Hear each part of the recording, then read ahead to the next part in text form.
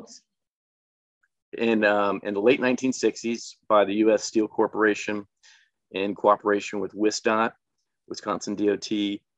And as I mentioned, it was just updated at the end of 2021 for the ninth edition. And it has a design run option where you'd kind of be starting from scratch and an analysis mode, maybe where you're um, doing some fine tuning towards the end of um, the design uh, submittal. It is a free software and it also, you know, we're here to help you if you have any questions with it or need any technical support. So that comes with it as well. It is a powerful line girder analysis. And, and what do I mean by that? It, it can do both steel I-girders as well as box girders, um, steel tub girders, and they can feature, you know, um, tapering tapering bridge deck widths as well as uh, linear and parabolic haunches. And it they're it's really meant for straight bridges per per AASHTO LRFD with um, minimal skew, and I would I would recommend kind of up to 20 degrees. But I would I would encourage everyone to look at the skew index factor and um, make sure it's make sure it's idealized suited for for your bridge project. Also, um, if you're doing this in 30%, it tabulates your quantities below in the output, which is really useful. Uh, to help you come up with those quantities really, really early on as you're developing your costs. So with the new with the new um, ninth edition update last year, it now will uh, independently design both an interior girder and exterior girder for the same bridge solution because we want to design our I-girders uh, the same. Our exterior girder is not going to be something unique from the interior girder. We want the same throughout for the most part, um, with some few rare exceptions. And then it will also allow you to independently kind of go in and, and look at each one of the interior and exterior girders, kind of fine tuning at the end.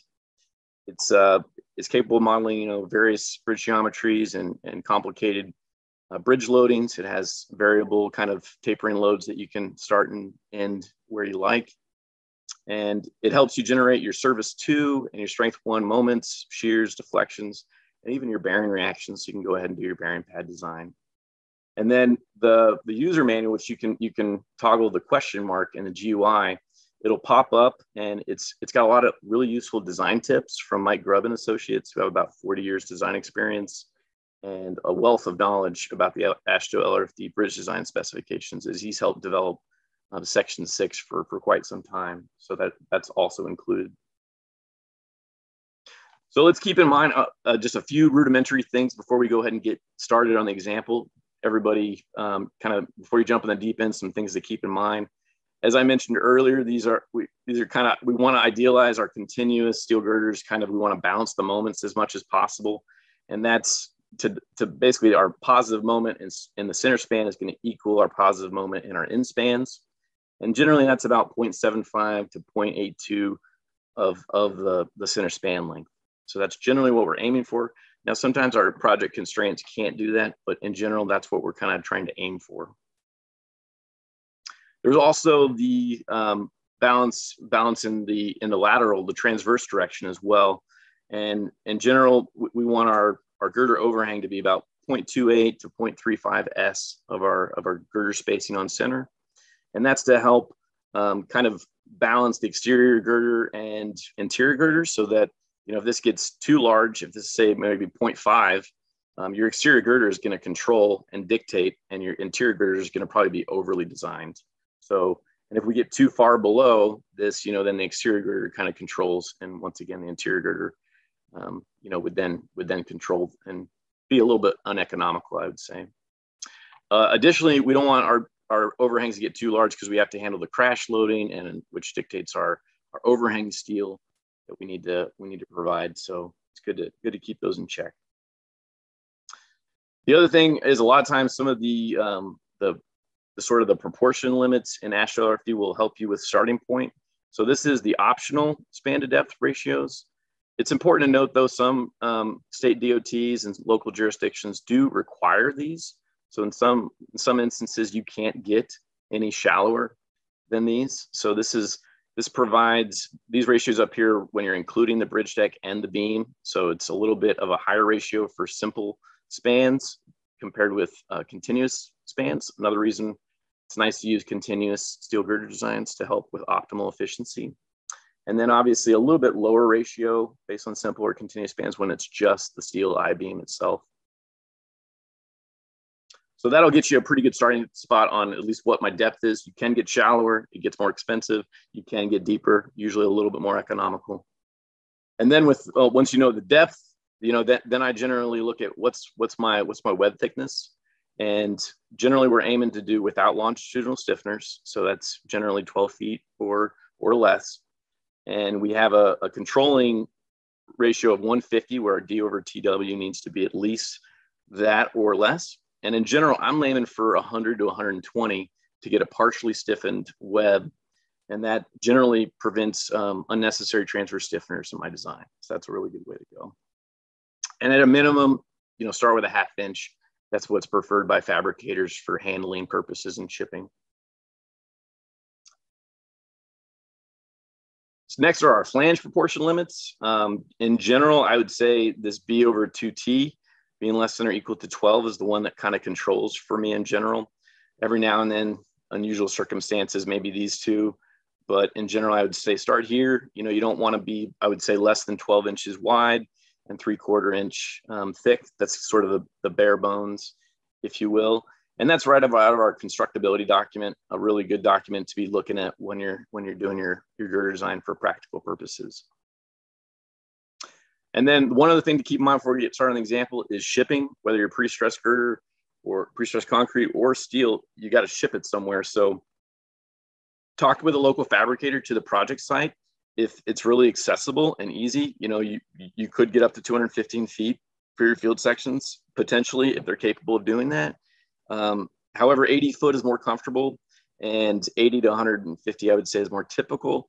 So it's, it's really good to talk to a, a local fabricator um, just just to see what your constraints are for the project as well as how they get it out of the yard and, and onto the interstate uh, as well as the weight. So, so 20 tons, there's no permit. And if you're over 100, you know, over 100 tons is possible, but the weight also comes with a factor and a cost. So, so be aware of that. And this probably is more for, for I-girders, but, you know, in general, don't be, uh, I'm sorry, uh, tub girders, but don't, you don't want to be six, more than 16 feet wide or 10 feet high, uh, depending on the truck, truck route. And then in general, if you're nine feet or less, you know, you can ship your girders vertically pretty much anywhere. So, so that, that would be another recommendation if, if that fits for your, for your project constraints. So with all that in mind, we're gonna go ahead and jump into our three span continuous uh, steel girder example. And we're gonna suppose that we've already done our preliminary TS&L and our owner is, is, is bought off on this arrangement. And we're, we're gonna assume that we're, this is a river crossing three span continuous where we have a 200 foot center span, 165 foot end spans, this is uh, our bridge deck, uh, typical section for, for, for our bridge. So we have about 43 foot two inch out to out on the deck. We have a 40 foot roadway. We have three, three foot one inch overhangs with 12 foot four girder spacing, four, four girders spaced on center there. And we have an eight and a half inch bridge deck um, with nine and a quarter inch at the edge of deck for the deck thickness. So keep that in mind for our loading and what we're working with today. So next, uh, I wanted to mention, so as, as, I said earlier, when you download the continuous span standards, they come with all the files. You know, and we say this right here that, you know, the Simon input files were provided because we understand, you know, the ideal span arrangements are rarely um, possible. So, so really, but does that mean, you know, I can download these and then trust them implicitly? Uh, you could, but in general, I, I would say um, no, because project design criteria are typically different. So I would still go through the work of, of developing my loading and my geometry um, to validate my inputs and outputs. You could also uh, compare the continuous span standards loading with your project design criteria. Um, and, and the other thing I mentioned earlier is these were idealized for the perfect web depth for optimal efficiency.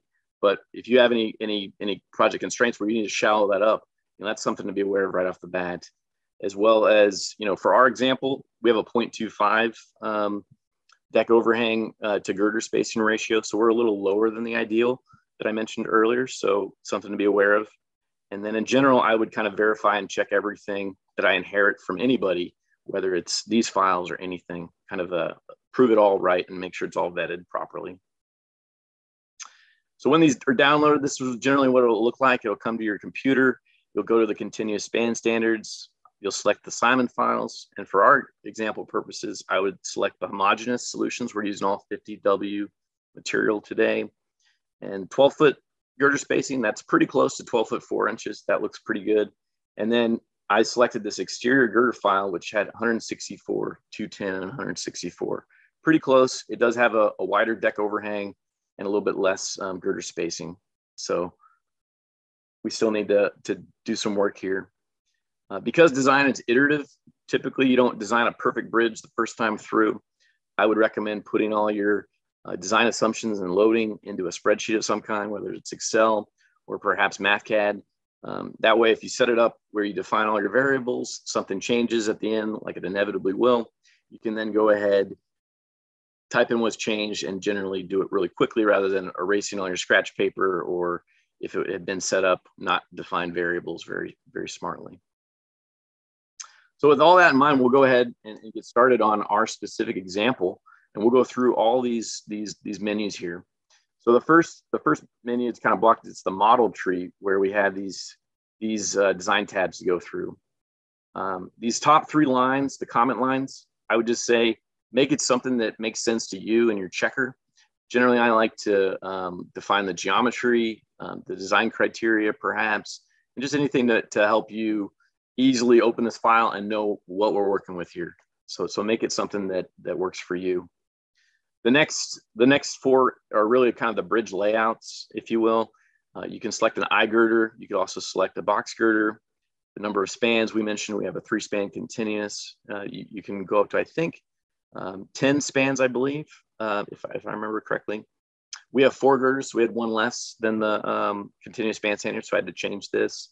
And I think the number of traffic lanes might have been one less as well. We have three where you take 40 feet divided by 12 and you take just the round number of that. We are going to use the, um, the analysis run type here since we kind of started with a solution already and we're going to tweak it. Um, this is also where you would select the design feature where you'd have LRFD Simon go ahead and design your girder once you set up um, some of the basic geometry. And these, as such, are really for the design feature, the design mode of um, Simon. And so this tells you kind of a minimum performance ratio that you want um, to have. And then if it's below that, LRFD Simon will, will revise it and try to make it a little bit more uh, efficient the performance ratio is essentially the factored demand divided by the factored resistance. So the lower that is, the less economical of a design you have. The higher it is, closer to one, the more economical it is. And then these are the minimum flange and maximum flange thicknesses I usually um, like to input for when I'm running the design mode. As I mentioned earlier, three quarters inch thick is sort of the, the minimum thickness. And then I like to go to three inch max. You can go up to four inch. There's a mill that provides four inch plate. However, I think it's just one. So if you if you stop at three inches, you can always widen up your flanges to to adjust. Um, you'll you'll have a little more competitive options uh, when it comes for the fabricator getting their plates from the mill. Uh, the next ones really are, are the deck properties. This first one is sort of where's my CG of my longitudinal deck reinforcement in my deck, and that's considered over the uh, negative moment region when your when your top flange is in tension, and that deck steel can help you uh, compositely in that tension flange. And then we have our distance from our slab bottom to the web top. That's really your haunch. And one thing I'll say, if, if people aren't very familiar with steel bridge design, your top flange is included in your haunch. So that's a little bit different from pre-stressed concrete world. So be aware of that. So the maximum thickness, and then you have some buildup um, in concrete as well. And the last two tabs or last two features really are fatigue parameters on this on this tab. So we have 800 trucks in a single lane per day um, on, on this sort of rural uh, bridge that we're working with. And we want to have 75 years, just like our design life for AASHTO LRFD would, would have as well. So next, the distribution factors. You can either uh, user define them or LRFD Simon will calculate them. So I've illustrated both uh, methods here even though I've selected user defined. Uh, these are the parameters I would input if I was having LRFD Simon um, design this or come up with the distribution factors. So we have a zero degree skew, 12 foot four inch girder spacing, and then the DE dimension, that's just your overhang minus your bridge barrier width. So that lets it know exactly where it can first place a truck on, um, on the deck, essentially. And then select an interior or exterior girder run. And so I've gone ahead and calculated those distribution factors and verified that they are indeed the same ones that LRFD Simon is coming up with. So if you're using another software, I wanted to mention this distribution factor. LRFD Simon does include this one. It's sort of in a different part of chapter four. It's in the commentary even, and I've seen some people forget this distribution factor, but it's based on rigid body rotation and it's for the exterior girder only.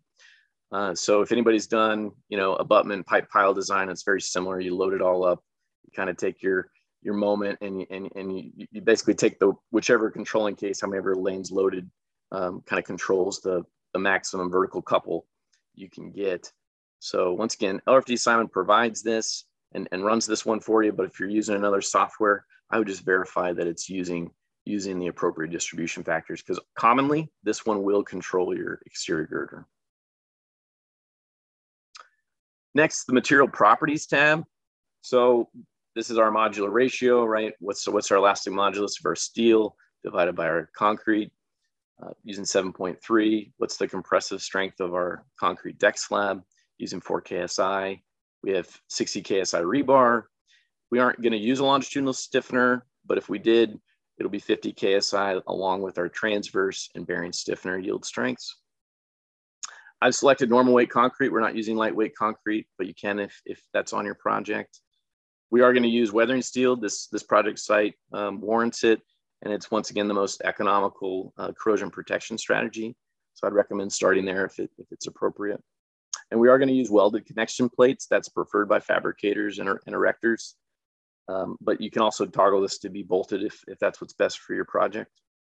And then the slab meeting criteria 6.10.1.7. This is the negative moment uh, deck reinforcement, making sure you're providing the minimum 1% of your deck area over your um, kind of anywhere for service two uh, tensile stresses. So essentially that's once again in your negative moment regions, and that's to control cracking in your deck. We don't want uh, cracks, owners don't like cracking concrete. So next we have our loads, and really I would think about this as kind of composite loads. Um, so this is the only composite loading we have in our example are the two bridge barriers, and we're going to go ahead and distribute those evenly to all girders, but different criteria. Sometimes it's 50% to the exterior girder, 25, 25. You know, there's some other various ones to do. So, so be aware of um, what your project criteria is. And we don't have a utility loading, but we do have a future wearing surface that we've gone ahead and applied to the entire um, bridge deck in between the, the edges of barriers. And, and then we, we kind of come to our live loading um, composite loading and we can select either HL93 and our user defined vehicle, or we can select just our user defined vehicle if for some reason we're ignoring HL93. Our live load deflection factor, this is generally L over 800 for vehicular traffic bridges. If we had pedestrians on our bridge, which we don't, uh, this would generally be a thousand for L over a thousand to have a little less deflection tolerance. And then these last ones are really what's my impact factors on my on my trucks. So as I, uh, we don't have any user defined vehicles for permit two, but if we were considering perhaps a permit truck, maybe some EV vehicles or any super loads, that's where we'd put this, this information in. And you can have up to 40 axles if necessary. The transverse uh, um, stiffener properties tab is, is one of the easiest ones to input. There's only two. Simon will even calculate this top one for you. In general, it's 3D, three times the depth of, um, of, of your web. And then this is an exterior girder, so we are going to have one-sided transverse stiffeners. But if you have two-sided, you can you can toggle no here as as such accordingly. And then the shear stud properties tab. So LRFD Simon will also design your, your shear studs and come up with a quantity of those for estimated purposes. So I've gone ahead and toggled, uh, yes, I'd like LRFD Simon to go ahead and design those for me. I'm starting it right at um, kind of the center line of my, my bearing at my abutment. And I'm using um, the density of concrete 145, excluding my reinforcement from that. I'm, uh, the, the pitch is the longitudinal spacing along the girder and I've I've indicated six inch preference. I don't want less than that in general if I can help it. I have seven, seven eighth inch diameter uh, shear studs that are six inches tall or long. And there's two studs in, in cross section, um, sometimes three or even four uh, if you have a wide enough top flange. So we finished the model uh, tree and now we're going ahead to the span information tab. And um, so, so the first one, the first span always can't be symmetric. You have to define the first span, but if you had a two span that is symmetrical, you could do that as such for this for the second span. So the first thing is the span length. That's pretty easy. The non-composite uniform dead load. This does not include your self-weighted your steel girder. Simon will come up with that internally, but it does include, so this would include sort of your, your wet bridge uh, concrete deck, as well as any buildup. I think I have a two inch constant buildup by the width of my top flange. I also have, um, I think 15 PSF for stay in place forms uh, for forming my deck, as well as I have a, I think a 15 PLF co- uh, cross frame estimate uh, load. I generally also like to put in a five PLF miscellaneous load. That's sort of account for my uh, field splices, as well as miscellaneous bolts, miscellaneous connection plates, and the like. I recommend doing that. And then working our way down here, bottom flange cross frame spacing. This, this is with respect to the compression flange. So the bottom flange is in compression over the negative moment regions near the piers. So we have a 20 foot cross frame spacing near the pier. And as you can see, our top, top flange cross frame spacing, the top flange is in compression in the positive moment regions. And it, we have a wider cro- uh, cross frame spacing there of 29 feet. In general, it's not fully braced in the non-composite, the wet concrete, but it generally is fully braced uh, in the final condition after that concrete is cured and hardened. And then um, also the construction lateral moment, this is where we'd put our deck overhang bracket loads. Uh, we don't need this for, for this solution because uh, I think we have a temporary bridge that they're working off in the river, but um, a lot of times that is something you'd want to consider and, and add in. Span two, pretty much same name of the game. The only thing we've changed is the span length. And notice the non-composite uniform dead load stayed the same. Um, the, the bottom flange cross frame spacing also stayed the same. We have a 20 foot spacing on the other opposite side of the pier as well. And then the, the top flange cross frame spacing changed because it's a function of the span length and what's left after the 20 feet is deducted twice from um, 200. So uh, we have a little bit little bit wider uh, cross-frame spacing in our positive moment regions. And then lastly, this is sort of the easiest tab when you have a symmetric span. Span three, we've toggled it to be symmetric. So we're done. Uh, we, we know we can just analyze and investigate span one and, and we're good to go for span three. Unless something, of course, was different, the span length or the loading of some kind. So now we're done with the span information tab we finished the model information um, tree and the span information tree, and now we're on the cross section tree. And really, the last one we really um, need to need to develop before we can start investigating some numbers. And so the first one that pops up is your web. And so this is sort of everything to do with your your steel I-girder web. And in general, my in locations, I like to have each of my cross frame locations are on here, along with my last um, location. And I'll also have my field splice location on here if I can. And that's so that when I go to fatigue design um, or for fatigue, we're held to the C prime detail. That's our transverse fillet weld stiffener for our connection plate of our cross frames. That's generally going to control um, with the C prime detail. So I like to just hone in and look at those locations for fatigue purposes. And then just having the, the field splice on there just kind of make sure, hey, I don't have a conflict with my cross frame spacing, right? I can see that it's four feet away. So my depth, I came, I actually used the same one from the continuous span standards of 80 inches. You can see we don't have a variable uh, web depth. We could, we could if we, if we so choose. And um, the web thickness. Remember, I said I like between 100 to 120 for a partially stiffened web for that D over TW ratio. I think this is about 116 if I remember right. So we're right within that um, that that frame of reference there. And then sometimes you want to investigate if it's transversely stiffened, turning this on and off for shear purposes. And I've already done that and, and, and investigated that. And then your minimum transverse stiffener spacing.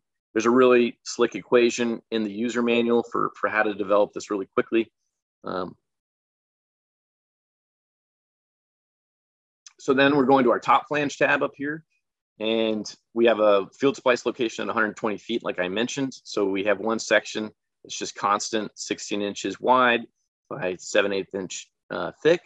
And it goes all the way to the field splice, 120 feet. Then we have just one butt splice at 145 feet, um, near, so about 20 feet from the pier. And that's how we've done it. And as I mentioned earlier, this is all homogeneous 50 KSI material. Um, and 70W does have a higher uh, tensile strength of 70 KSI than the regular grade 50. Bottom flange, pretty much the same thing.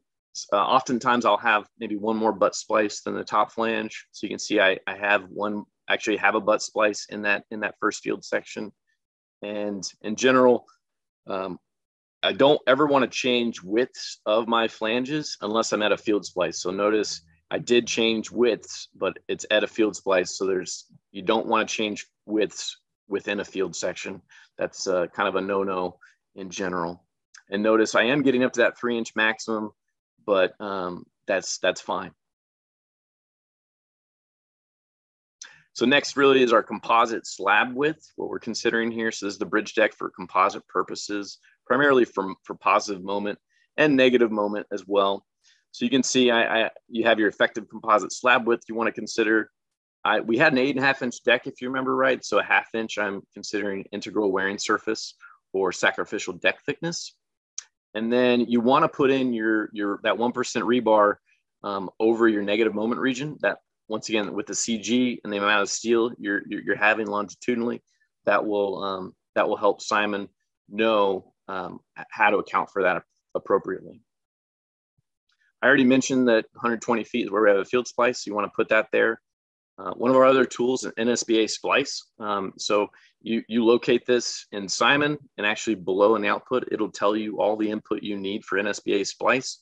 That's another free uh, tool that we provide and, and really slick and, and can make uh, field splice design much easier than it used to be.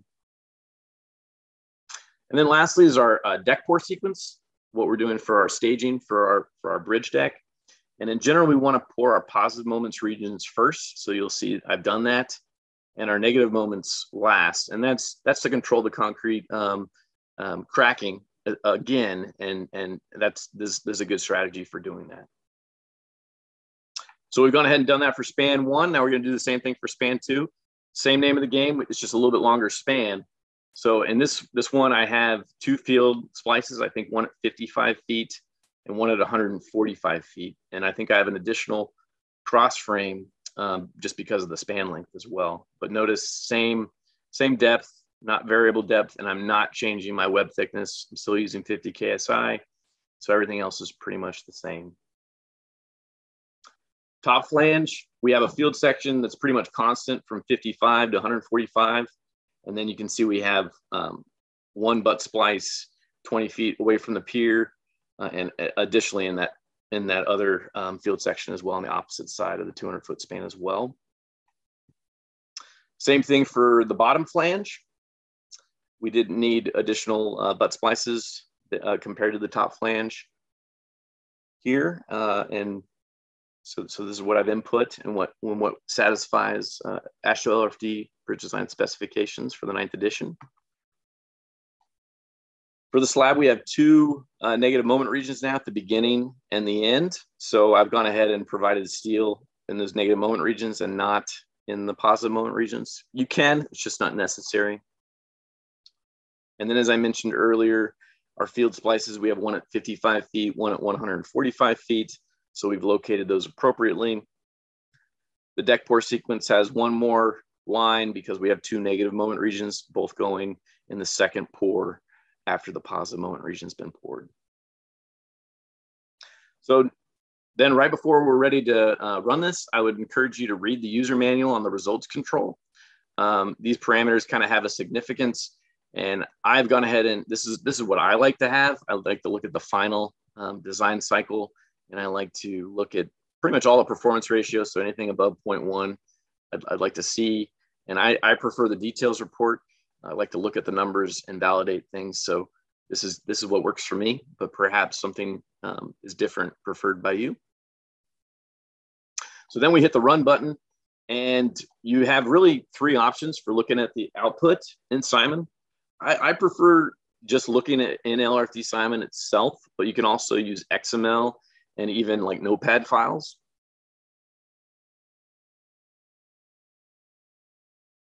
And, I, and what I'll often do is I'll, I'll just copy and paste from Simon into Excel.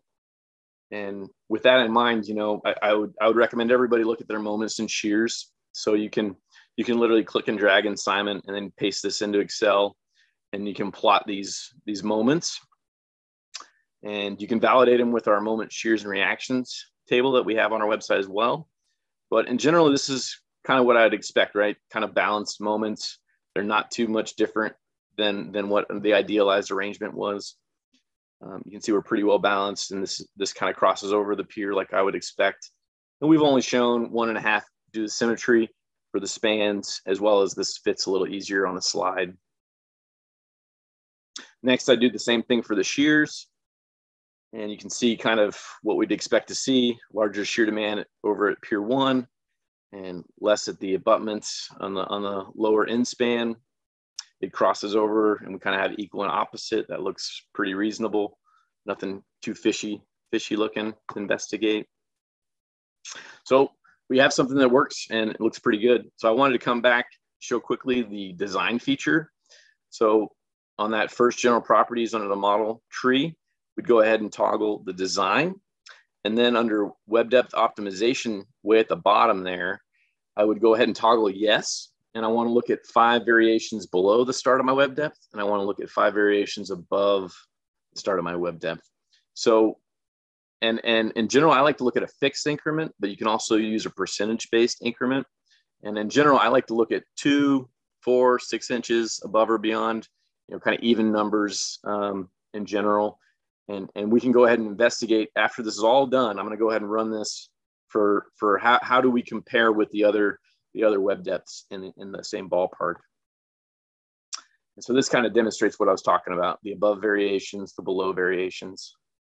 And here's our solution right here uh, with 80 inch web depth 362.05 tons. That seems pretty reasonable.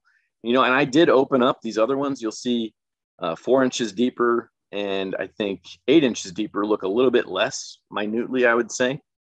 And when I actually opened those, they they were sort of changing some of their web thicknesses and some other things with flanges we wouldn't recommend, like a 16th of an inch, for example. Um, so so actually, this really is the optimal solution. So I think the continuous span standards had it right to begin with. So that's nice to validate that and see that. And then, so the most important thing, of course, is is is looking in the output and and looking at your performance ratio when you're using this software. So if you scroll down to the kind of the bottom part of the, you know, you can see we're most of the way down in, in Simon and the output, you'll see the, the maximum performance ratio. If it's not satisfied and it's above 1.0, you won't see everything spit out for the bill of materials. It'll say it's unsatisfactory. You can see we have a 0.956. That seems pretty reasonable, pretty economical but you'd want to also hone in on the other sections, right? Along not just the controlling one, but but the other sections along the length of the girder. And make sure you know the rest of it looks pretty economical. Can we skinny it up anywhere? Uh, can we can we do some more optimization of our of our flange sizes? Maybe come talk to NSBA, reach out to a, a AISC certified member fabricator on um, what they think, and is there anything we can do to improve the economy of this design further before you submit your final plans?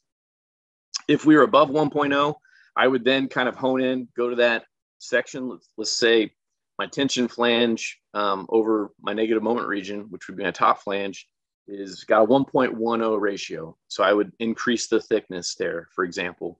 If I've gone past three inches, I would think about widening all my flange widths um, in that field section and trying to optimize with the bottom and top flange appropriately.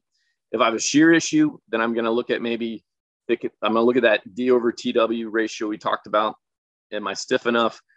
Should I look at maybe two-sided transverse stiffeners? Maybe maybe uh, something with stiffeners or stiffened or unstiffened considerations. And um, for fatigue, it's always going to be the bottom flange. So increase your bottom flange thickness for that C prime detail, and then you should you should satisfy fatigue. The most important thing we do is not our modeling or our calculations, it's what we put on our structural plans that we then stamp and seal as the engineer record and provide to our client and what is used to build. They're not looking at your LRFD Simon file. So it's also really nice early on to develop your typical section, your framing plan. Your framing plan will show you if you had any kind of conflicts, especially if you had a skewed support. You know, your, your cross frame locations can start coming in near your field splices. In general, I want to be at least two feet away from that if I can help it. You know, you want to avoid framing in that cross frame into your your web splice. That's that's that's a big no-no. So make sure you have at least two feet, maybe even three feet. And as I mentioned earlier, we had um, 29 foot cross frame spacing within span one. Then we had two 20 foot cross frame spacings over the pier. And then in span span two, it was up to 32 feet. So you can see we have 120 foot field sections, um, field section one and five, then two and four are 100 feet and 90 feet for that third middle middle field section.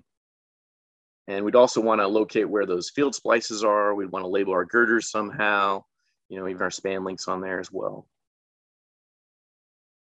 And then the girder elevation. This is a really good place to look at your, your detail and like, hey, so how else can I optimize my, my, my flange plates?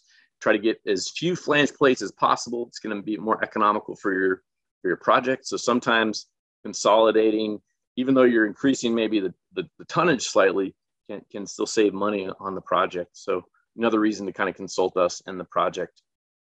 But I think we did pretty decent here. And with that, I'd like to say thank you, and I, will take some questions at the end. But